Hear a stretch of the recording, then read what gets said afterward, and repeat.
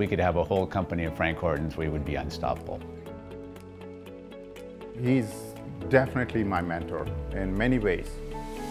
The reason we wanted to come up with this award was to recognize some of the best and brightest and most successful people over the history of Magna.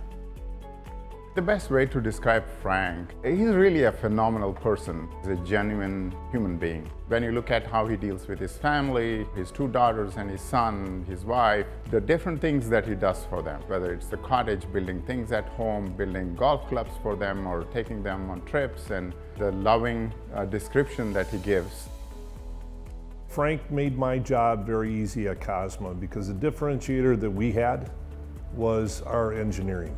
We weren't a build to print stamper. We actually did process and product engineering. See Frank as a visionary, as a person that not only a great mentor, but was able to understand technology, understand the business cases, be able to put it all together to either create processes or product. Over the years, he helped me basically grow my career. He was one of the greatest mentors that I've ever had. He inspired me. He basically um, took me under his wing, gave me opportunities.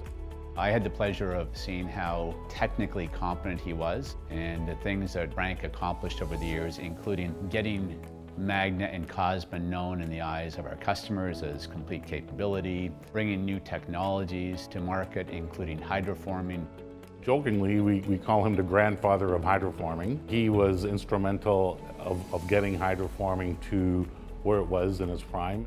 He had the vision to look at a plumbing company from a hydroforming perspective, think of a product line in chassis frames for automotive, and built a business case, worked through bringing the technology to commercial scale, and make it into a business for Magna. I mean, that's just one of them.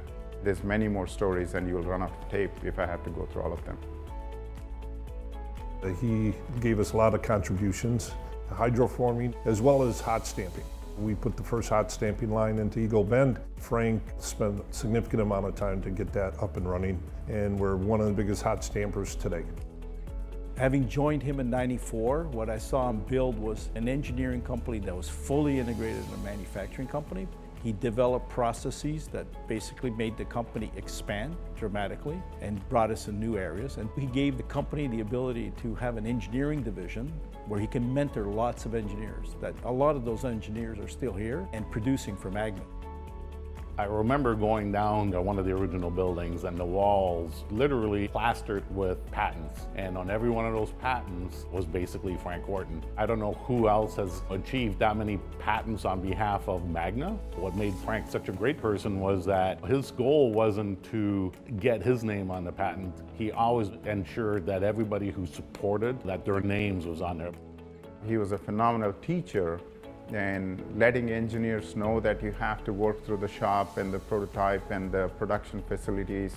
How do you take all the building processes and the manufacturing aspects of it before you start designing something on a piece of paper?